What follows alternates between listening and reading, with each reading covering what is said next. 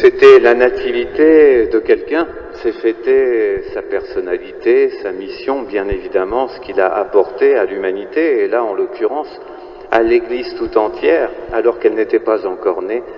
Il, est celui, il est le dernier des prophètes, celui qui s'est euh, penché sur le berceau de, de l'Église en gestation.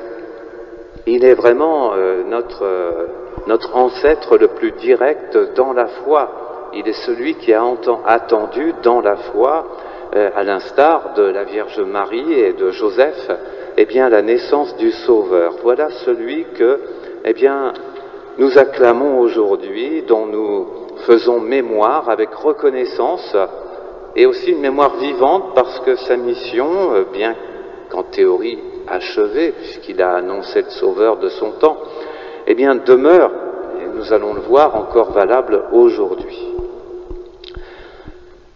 Jean-Baptiste.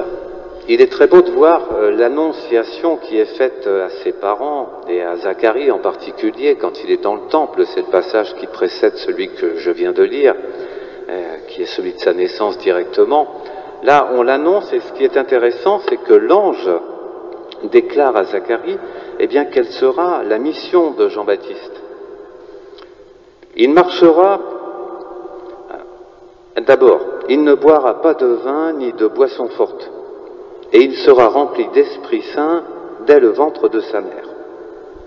Donc ça, on le sait parce que lors de la visitation, hein, eh bien, quand la Vierge Marie, il a donc euh, six mois, Jean-Baptiste, à ce moment-là, quand Marie entre et salue Élisabeth, eh bien, d'un seul coup, Élisabeth est remplie d'Esprit Saint et Jean-Baptiste aussi. On ne nous dit pas dans quel sens d'ailleurs. Est-ce que c'est par Élisabeth que Jean-Baptiste a été rempli d'Esprit Saint Ou est-ce que c'est parce que Jean-Baptiste a été rempli d'Esprit Saint que sa mère le fut également? Sous l'angle surnaturel, on serait plutôt, tenté de, penser à, que ça commence avec Jean-Baptiste. Mais sous l'angle de, la grâce, sous l'angle des chemins de Dieu, eh bien, euh, sa maman était la porte par laquelle il est entré en ce monde. Donc euh, les deux sens sont possibles, mais peu importe. Il était rempli d'Esprit Saint. Quand Marie paraît, c'est pas Marie directement qui te fait tressaillir d'allégresse, c'est Jésus. C'est sa mission qui commence. Et alors, tandis qu'il est toujours dans le ventre de sa mère, voilà qu'il désigne pour la première fois l'agneau de Dieu, et les deux femmes qui en sont témoins, eh bien, sont celles qui recueillent son premier témoignage. Il n'était pas encore né, Jean-Baptiste, lorsqu'il a désigné l'agneau de Dieu. Ça, c'est la grâce. La grâce qui est donnée, c'est qu'on ne peut pas inventer ni contrefaire d'aucune manière. Mais après, il y a la formation, le cheminement, la digestion de la grâce afin qu'elle devienne vraiment une vocation. Car la grâce ne détruit pas l'apprentissage, la formation, la seconde chose, donc, d'abord, il est rempli d'Esprit Saint. Ça, c'est la première chose. Il est choisi, élu par Dieu. Il ne, boira pas de vin ni de boisson forte. Ça, c'est le fait, une austérité, hein, c'est le, combat spirituel. Il sait se recentrer sur l'essentiel, euh, comme c'est le but dans la vie religieuse en général, dans la vie consacrée. Il fera revenir de nombreux fils d'Israël au Seigneur leur Dieu, il marchera devant en présence du Seigneur. Donc il guide les gens, mais c'est sous le regard de Dieu qu'il le fait, avec l'esprit et la puissance du prophète Élie, pour faire revenir le cœur des pères vers leurs enfants, ramener les rebelles à la sagesse des justes et préparer au Seigneur un peuple bien disposé. Élie, de son temps, ce qu'il a fait, c'est restaurer la religion dans son intégrité. Il faut se souvenir que la religion de Yahvé, la religion du Dieu vrai et véritable, eh bien, avait presque disparu en Israël à l'époque du prophète Élie à cause de Jézabel et de son mari Achab, le roi Achab, qui avait mis à la place eh bien, les cultes à Baal et à, bien d'autres idoles. Et vous savez, c'est le fameux duel sur le mont Carmel, où, où Élie fait tuer tous les, prêtres de Baal et restaure le vrai culte en Israël. Eh bien, Jean-Baptiste doit refaire la même chose. Et c'est une allusion qui nous est faite sur, l'état du monde il y a 2000 ans et qui ressemble étrangement au, nôtre. Le culte du vrai Dieu est vraiment menacé, oublié, il, tombe en décomposition d'une certaine façon. La mission de Jean-Baptiste, c'est de recentrer le peuple sur eh bien, ce que Moïse a donné, le cœur de la loi de Moïse. C'est le cœur moral, le décalogue, on va dire. Et puis surtout, l'enseignement de la transcendance divine. Alors, euh, il doit d'abord eh bien, vivre au désert. Ses parents étaient âgés. C'est le grand miracle d'ailleurs. Comme pour euh, Sarah, euh, la femme d'Abraham, eh bien, Élisabeth, dans son vieil âge, conçoit d'une façon miraculeuse Jean-Baptiste. Ça veut dire vraiment que le Seigneur le consacre, le suscite d'une manière spéciale. En plus, il est du cousinage de, Jean, de Jésus lui-même. C'est très beau de, voir ça. Tout se passe dans, un milieu très restreint. Et euh, avec peu de moyens, Dieu peut faire beaucoup. En même temps, donc, ses parents âgés meurent vite. Son père est prêtre, mais Jean-Baptiste n'exercera pas le sacerdoce. On n'obligeait pas euh, dans les familles euh, des enfants à exercer le sacerdoce, mais il le pouvait par droit, euh, par, droit par héritage, quoi, par lignée. Et il s'en va au désert, à la mort de ses parents très probablement, qui a dû arriver quand il était très jeune déjà. Le désert, c'est l'expérience de Moïse. Moïse, rappelez-vous, il y a des points communs entre les deux personnages, les deux grands prophètes, Moïse et Jean-Baptiste.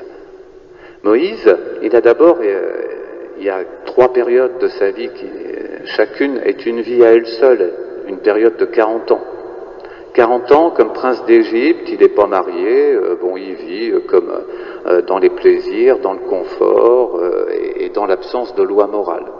Ça, c'est la première étape de la vie de Moïse. La seconde, à la fin de cette vie égyptienne, le sens de la justice euh, ne l'avait pas quitté, mais donc explose, et il essaye par ses propres moyens, sa bonne volonté, de, rétablir la justice euh, envers ses frères esclaves, et il échoue, il est obligé de fuir l'Égypte, il va à Madian, au désert, au nord de l'Arabie, et là, bah, il devient un homme du désert, 40 ans.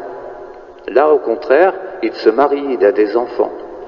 Là, il, euh, commence à, apprendre le sens véritable de l'existence. Dans le désert, il fait l'expérience du dépouillement, contrairement à la richesse égyptienne de sa vie passée. Là, il n'y a pas de superflu. Et puis l'autre chose, c'est la fragilité humaine au désert à cause du manque de ressources. Donc on apprend le partage, on apprend aussi combien on est fragile. En Égypte, on se croit tout puissant, comme dans nos sociétés euh, occidentales. Mais personne n'est tout puissant et notre vie est un fleuve qui s'écoule très très rapidement et nous devrons eh bien, la remettre très prochainement entre les mains du Seigneur. Il apprend enfin la troisième chose, le sens de l'immensité. Le désert, c'est l'immensité.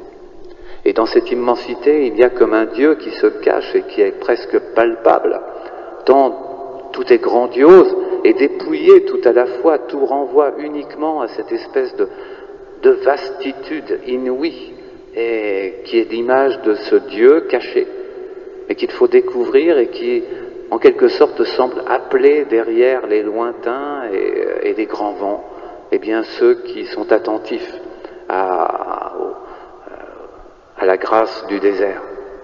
Le désert, c'est ça, un Dieu merveilleux qui est prêt et transcendant au-delà du monde, mais prêt à se communiquer.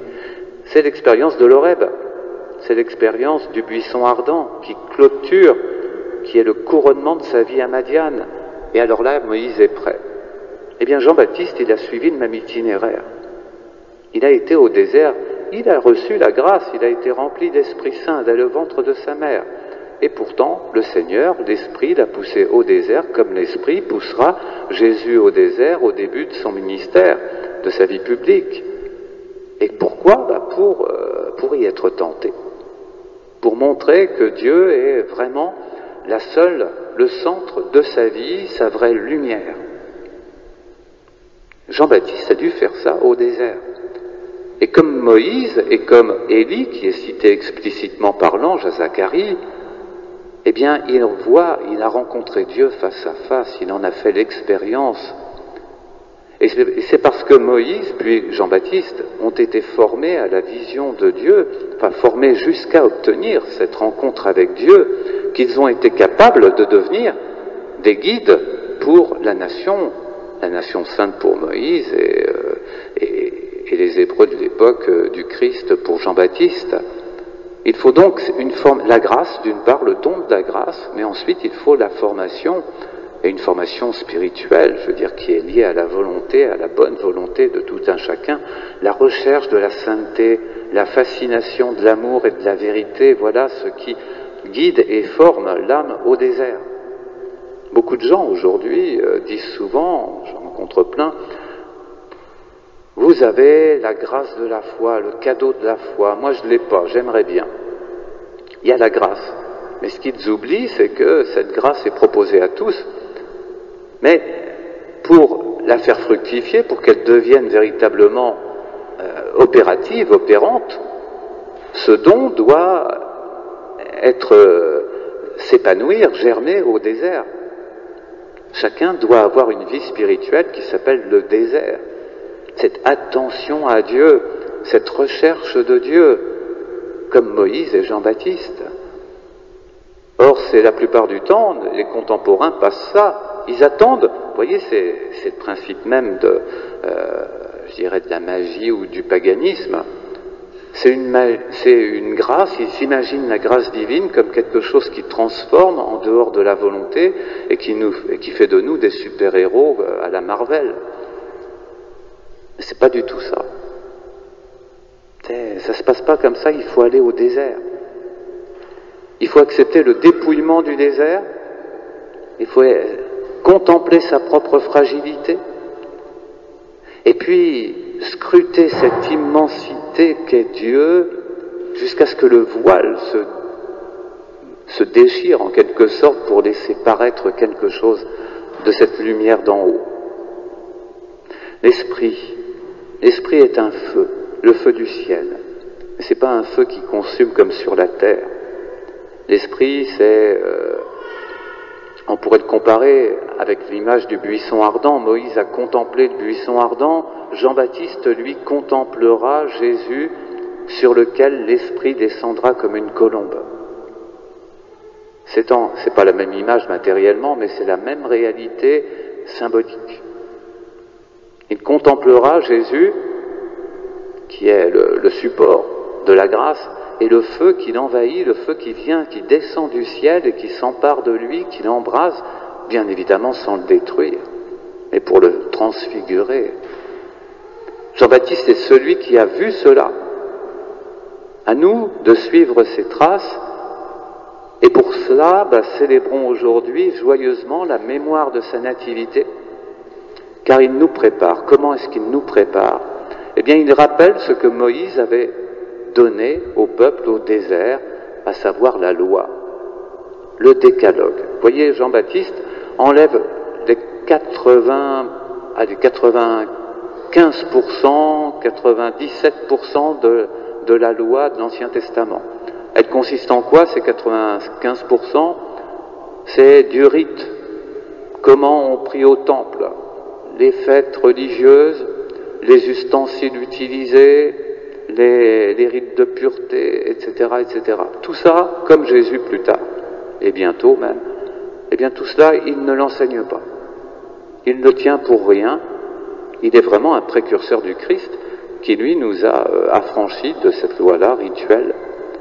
Et il nous reste quelques commandements, tels que le décalogue, les dix commandements, et puis quelques autres ce qui fait vraiment l'essence de la loi. L'autre grand enseignement, c'est, comme je vous le disais au début, la transcendance.